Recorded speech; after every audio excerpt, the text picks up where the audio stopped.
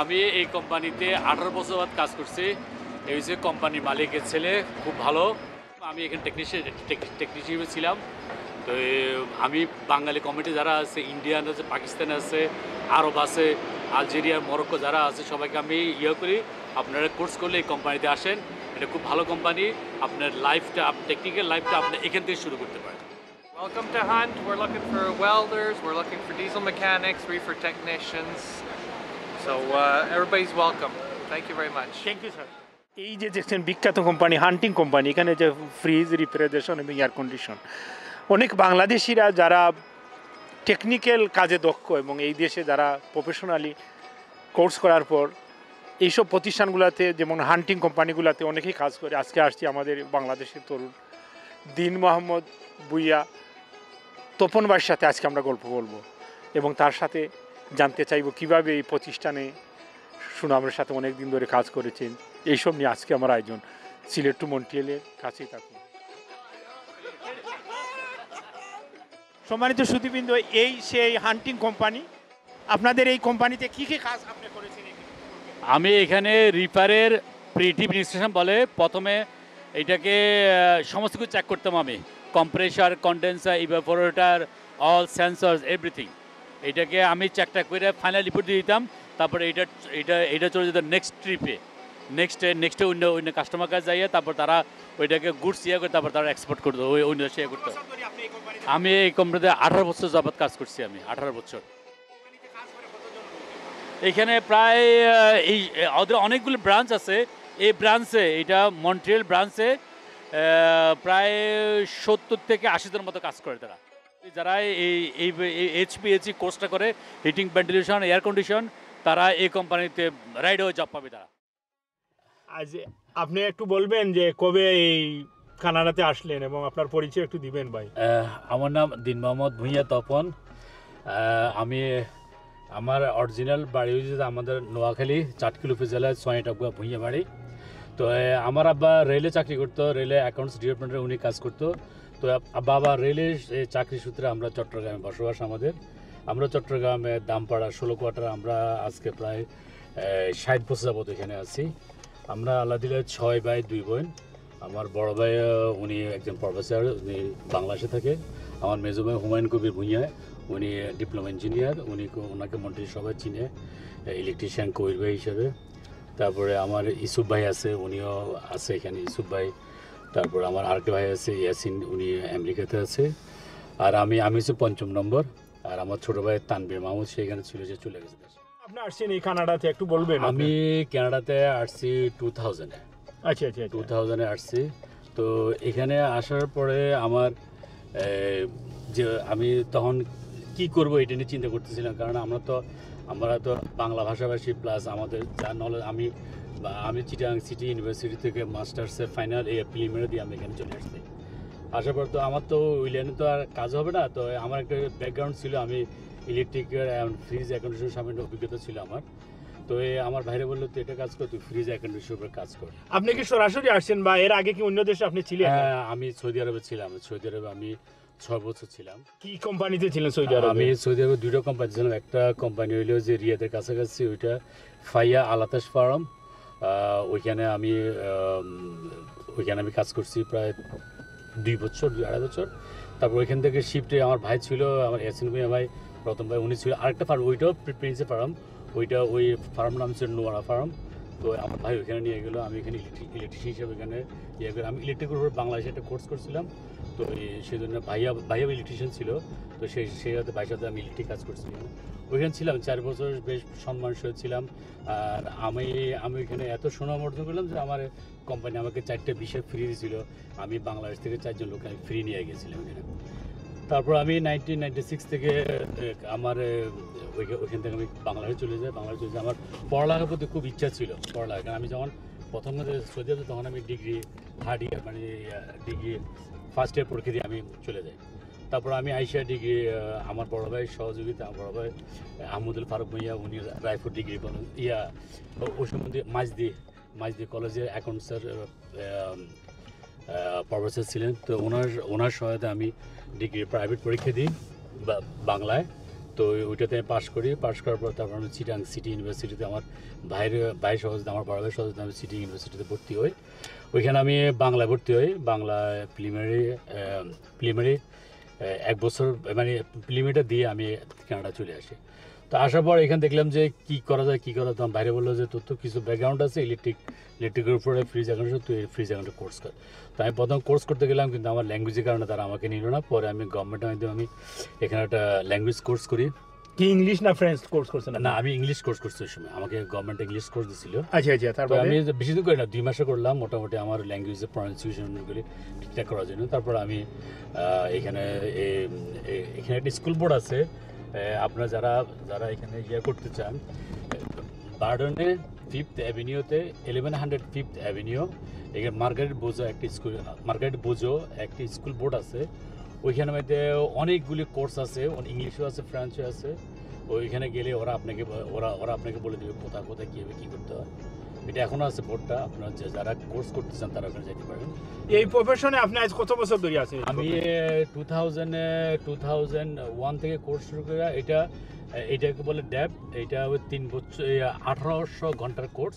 আঠারোশো ঘণ্টা কোর্স এটা পনেরো ষোলোশো মাস, এটা ফুল টাইম কোর্স সকাল আটটা থেকে বিকেল তিনটা পর্যন্ত ফুল টাইম কোর্স এটা গভর্নমেন্ট কোর্স এটা খরচ খুবই কম।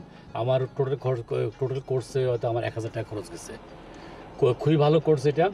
তারপরে এইটা করার পরে যদি আমাদের কোর্স শেষ যদি আমার কোর্স শেষ যদি আমি আমাদের অফিসে গেলাম তো বলল তোমাদের কোনো চাকরি ডিমান্ড আছে এখানে কোনো ইয়েতে। কারণ ফ্রিজ আমি আমার কোর্স নাম হচ্ছে H V A C heating ventilation air condition তো যারা এইচ বি কোম্পানি আছে এখানে তারা আমাদের ইয়েতে আমাদের স্কুলে যে তারা ডিমান্ড দেয় যে আমার টেকনিশিয়ান দরকার। আচ্ছা, আচ্ছা। তুমি দিও। তো আমি গেলাম তারা আমি দুই তিনটে অ্যাড্রেস দিল। ওয়েন্সডে ছিল ওয়েন্সডে ওয়েন্সডে ছিল মানে ওই টু থাউজেন্ড থ্রিতে ওয়েন্সডে ছিল তো আমি থার্সডেতে তাদেরকে কল দিলাম। তারা একটা কোম্পানির কল দিলাম তারা বলল যে তুমি কালকে আসো ফ্রাইডেতে আসো। আচ্ছা, আমি আচ্ছা। গেলাম যাওয়ার পরে জাস্ট আমি আমি আমার পূর্ব অভিজ্ঞতা বললাম এখানে এখানে কোর্সের কথা বললাম। তারা আমার থেকে আমার সার্টিফিকেটও দেখে নাই ইয়াও দেখে না তারা আমার ইয়ে দেখে বলল ঠিক আছে তুমি সোমবার থেকে জয়েন করো। ওগুলো চাকরি হয়ে গেলো আমার। তখন কত টাকা ছিল হাওয়া হ্যাঁ, তখন তখন এমনি ইয়েতে কুইবেকে মিনিমাম স্যালারি ছিল সিক্স ফিফটি ছয় টাকা পঞ্চাশ পয়সা। কিন্তু তারা আমাকে টেকনিশিয়ান হিসেবে আমাকে দিল বারো টাকা পঞ্চাশ পয়সা। বারো টাকা পঞ্চাশ পয়সা সাড়ে বারো টাকা দিয়ে আমি কত সালে এটা? এই টু থাউজেন্ড থ্রি এই সেম কোর্স করার পর যদি কেউ আমার বাঙালি কিছু ভাই ঢুকছে আমার দেখা দেখে আরও বাঙালি তিনটে তিনজন ভাই এই কোর্সটা করছে। তাদের সাইদুজ্জামান ভাই আনোয়ার ভাই তারপর আরেকটা ছেলে আরেকটা ছেলে কিছুদিন করছে মিরেজ। তো তো এখন যারা ঢুকে কোর্স করে ঢুকে চাকরি চাকরির গ্যারান্টি আছে। বেশ ভালো অ্যামাউন্টে প্রায় প্রতি আওয়ারে এক ডলার করে বোনাস দেয় প্রতি আওয়ারে তো দেখা গেলো কি বছর শেষে আমরা দুই হাজার টাকা বোনাস পাই কোম্পানি থেকে। এখন কত হাওয়ার মিনিমাম এখন? এখন তারা স্টার্টিং দেয় যদি যারা কোর্স করে থাকে তাদের স্টার্টিং স্যালারি তারা বিশ ডলার ডলারকে পাবে। বিশ ডলার করে। হ্যাঁ বিশ ডলারকে পারবে। এই এই কোর্স যারা যে ফ্রিজ বা এইচ বি ছিল যারা কোর্স করছে তাদেরকে এই কোম্পানি বিশ ডলারকে আবার দেয়। আচ্ছা যারা বাংলাদেশ থাকি যারা আসবে আর কি, তাদের কি ধরনের ডিপ্লোমা নিয়ে আসা উচিত আপনি মনে করেন? হ্যাঁ তারা যদি বাংলাদেশ থেকে তারা যদি পারে পলিটেকনিক ডিপ্লোমা নিয়ে নিয়ে আসতে পারে ওটা ভেরি গুড কোনো সমস্যা নেই। আর যদি যারা যদি পলিটেকনিক ডিপ্লোমা নেয় তারা ওই বিভিন্ন টেকনিক্যাল কোর্স আছে তিন বছর ইয়া তিন মাসের ছয় মাসের গভর্নমেন্ট কোর্স ওই কোর্সগুলি করে নিয়ে আসলে এখানে এখানে এগুলি এখানে কোর্সের ইয়েগুলি ধরতে তেমন ইকুইভ্যালেন্স দিয়া দেয়? ইকুইপমেন্টস দিবে। ইকুইপমেন্ট দেওয়ার পরেও তারপরে এখানে একটা কোর্স করতে হবে তাকে। কারণ এই দেশের সিস্টেমটা তাকে ধরার জন্য। আচ্ছা এদেশে এদেশে কাজ সিস্টেম ধরতে ধরতে তাকে একটা ইয়ে লাগে। আর যা আর যদি কেউ ইঞ্জিনিয়ার হয়ে আসে যেমন ডিপ্লোমা ইঞ্জিনিয়ার বা আপনি বিএসসি ইঞ্জিনিয়ার তারা ইকুইপমেন্ট করার পর তারা এখানে এখানে কাজ করতে পারে তাতে কোনো সমস্যা হবে না। আচ্ছা আপনারা তো ধরিলা ওই অফিসিয়াল আওয়ার বাদে তো আপনারা প্রাইভেটও কাজ করতে পারেন এই হ্যাঁ। প্রফেশনে হ্যাঁ আমি আমি আপনি সুন্দর প্রশ্ন করেছেন আমি এখানে এখানে আমি দেখলাম যে আমাদের বাঙালি ভাইরা তারা ফ্রিজ এবং স্টোভ নিয়ে তারা বেশ কষ্টে আছে কারণ তারা যদি একজন যদি এদেশে টেকনিশিয়ান কল করে তারা ঘর থেকে বাইর হওয়ার থেকে ওখানে কাজ পর্যন্ত কাজে পৌঁছা পর্যন্ত তারা একটা একটা বিল চার্জ করবে, তারপরে কাজ দেখবে, একটা চার্জ করবে, তারপরে কাজ করবে, আরেকটা চার্জ করবে। দেখা গেছে তারা এক একটা ফ্রিজের কাজে তারা তিনশো, চারশো ডলার পর্যন্ত তারা চার্জ করে। তো আমি এই এটা দেখা আমি না, ঠিক আছে, আমি বাঙালি ভাইদেরকে আমি একটু সাহায্য করি। তো এই সেই হিসাবে আমি এই এই কাজ থেকে আসার পর আমি এই কাজগুলি শুরু করি। এখন তো আমি জাস্ট কোনো একটা কাজ করলে আমি এ, বেশি করে ভাষার কাজ আমি কোনো লাভ করি না। ওইটা জাস্ট আমি ওদেরকে একটা সার্ভিস দিই। ওনাদেরকে আমি ওখানে যাওয়ার পর আমার জাস্ট পার্টসের দাম আর মোটামুটি একটা সামান্য একটা আওয়ার নিয়ে তাদেরকে আমি কাজটা করে যাতে তারা আরও যেন যে যে কাজটা তারা দুশো টাকা দিয়ে করতে পারবে তো ক্যানাডিয়ান চারশো টাকা নেবে। দুশো টাকা দিয়ে কাজ করলে তাদের তারা ওই আর অতিরিক্ত কোনো পয়সা খরচ করতে হয় না নতুন একটা ফ্রিজ কিনা নতুন একটা স্টোভ কিনা। তাই আমি ওই কাজটা ওই আমার কাজ থেকে আসার পর আমি বিকেলবেলা তিন চার ঘণ্টা সময় পাই আমি ওই সময় এই কাজটা করতে পারি। আপনাদের এই বুয়া ফ্যামিলির কানাডাতে কতজন আছে আপনাদের ফ্যামিলিতে আমাদের ফ্যামিলিতে আম- আমার আমরা আছি চার ভাই চার ভাইয়ের মধ্যে চার ভাই ফ্যামিলি সহ আমার শ্বশুর ভাই আমার শ্বশুর ফ্যামিলি সহ মোট আমরা আছি চল্লিশ জনের কাছাকাছি। চল্লিশ মাঝে মাঝে দেশে যাওয়া হয়? হ্যাঁ আমি তো এই তো যাব ইনশাল্লাহ জানে যাওয়ার ইচ্ছা আছে। আমি গত বছর নাইনটিনে বাংলাদেশে গিয়েছিলাম। আপনাকে প্রথম বললাম যে নাইট টান আছে। আর দেশের মধ্যে, দেশের জন্য আমার কিছু একটা করার ইচ্ছা আছে। আমি দেখি দেশের দেশের যাতে যারা পথশিশু আছে, তাদের জন্য আমি কিছু একটা করার চিন্তা ভাবনা আছে। যে দেখি তাদেরকে হয়তো হয়তো জীবনে আমার একটা খেয়াল আছে যে কমপক্ষে আট থেকে দশটা পথশিশুকে আমি উচ্চতর শিক্ষা আমি দেওয়ার চেষ্টা করব। আপনার এই জীবনের অভিজ্ঞতা থাকে যারা বাংলাদেশ থেকে যেসব তরুণ বিদেশ আসতে চায় তাদের কি ধরনের টেকনিক্যাল বা কি ধরনের যোগ্যতা নিয়ে আসা উচিত? আপনি বলবেন একটু আপনার এই অভিজ্ঞতা থেকে। আমি যে জিনিসটা প্রথম প্রথমে ইয়ে করছি যে প্রথমে সেলফ ডিপেন্ডেন্ট হতে হবে সবাইকে। Self depend self confidence self depend এই দুটো জিনিস খুবই ইম্পর্টেন্ট এখানে। আচ্ছা। এই দুইটা জিনিস না থাকে এই যে এই যে- এই যে- এই সময় দেশের মধ্যে অ্যাডজাস্ট করাটা খুবই কষ্টকর। কারণ এখানে মানুষগুলি সবাই সেলফ ডিপেন্ডেন্ট অ্যান্ড তাদের সেলফ কনফিডেন্সটা প্রচণ্ড। মানে। এখানে একা একা এখানে আপনাকে কেউ পিছিয়ে থেকে পুশ করা লাগে না। এখানে মধ্যে সব কিছু আপনার কাছে আছে আইন আপনার কাছে। এরা আপনি যে কোম্পানিতে কাজ করেন তারা আপনার সাথে কখনো খারাপ কিছু করতে পারবে না। এটা এমন না যে বাংলাদেশে ধরেন না কেউ কোনো অফিসে কোনো কিছু করল পরে আপনি একটা একজনের নেতা ধরলেন একজন এমপি ধরলেন এখানে কিছুই করা লাগবে না। এখানে আইন আছে আইন তার নিজে গতিতে চলে। এখানে কি কাউকে কিছু করা লাগে না। শুধু এই দুটো জিনিস থাকে সেলফ কনফিডেন্স এবং সেলফ ডিপেন্ডেন্ট থাকলে ইনশাল্লাহ এই দেশে অ্যাডজাস্ট করার কোনো ব্যাপার না। থাকতে হবে অবশ্যই অ্যাম্বিশন থাকতে হবে অ্যাম্বিশন থাকতে হবে আর- আর আর হইতে হবে সৎ। সবচেয়ে বড় হইতে হবে সৎ। এই দেশটা একটি সৎ কান্ট্রি এখানে এখানে আপনি এখানে আপনি যদি দুই নম্বরই কোনো ইয়ে করেন বা ইয়ে করেন আপনি হয়তো সামান্য কিছুদিন আপনি এটা নিয়ে বেশ ভালো থাকবেন কিন্তু আপনাকে এটা কিন্তু পার্চিতে দিতে হবে। কারণ এখানে মধ্যে কেউ কেউ কিন্তু ছাড় পায় না। কেউ ছাড় পায় না। এখানে এখানে মন্ত্রী মিশন শুরু করে এখানে কেউ ছাড় পায় না। আপনি জানেন যে মন্ট্রিলের মধ্যে এই এক বছর তিনবার মেয়র চেঞ্জ হয়েছে একমাত্র এই এই এই সমস্ত দুর্নীতি দুর্নীতির কারণে। তো দুর্নীতি এখনও পর্যন্ত লাভ হলে মেয়র ইয়েতে। শুধু এখানে মধ্যে ওগুলি ও চিন্তা করা ওই চিন্তা মন থেকে বাদ দিতে হবে। ও চিন্তা মধ্যে দুই নম্বর। আপনি সৎ সৎভাবে কাজ করেন। এখানে সৎভাবে কাজ করলে অনেক টাকা ইনকাম করা যায়। অনেক টাকা ইনকাম করা যায়। এখানে টাকা উড়ে। আর আসরের মাধ্যমে আমি আরেকটা শেষ একটা মেসেজ দিতে চাই যে আমরা প্রায় এক কোটি মতো বাঙালি পুরো বিশ্বে আছি। আমরা যদি বাংলাদেশে যদি অনাথ কোনো ছেলেকে যদি কোনো শিশুকে যদি আমরা যদি তার দায় দায়িত্ব নিই, তার পড়ালেখার ব্যাপারে যদি দায় দায়িত্ব নিই এটা এটা বড় কোনো খরচ, সামান্য খরচ যদি নিতে পারি, তো আমরা এক কোটি বা এক কোটি বাঙালি যদি আমরা এক কোটি এক কোটি পথ শিশুকে নিয়ে যে আমরা আমরা আমরা আমরা যদি কাজ করি, তাহলে আমাদের আমাদের দেশটা খুব উন্নতি হবে।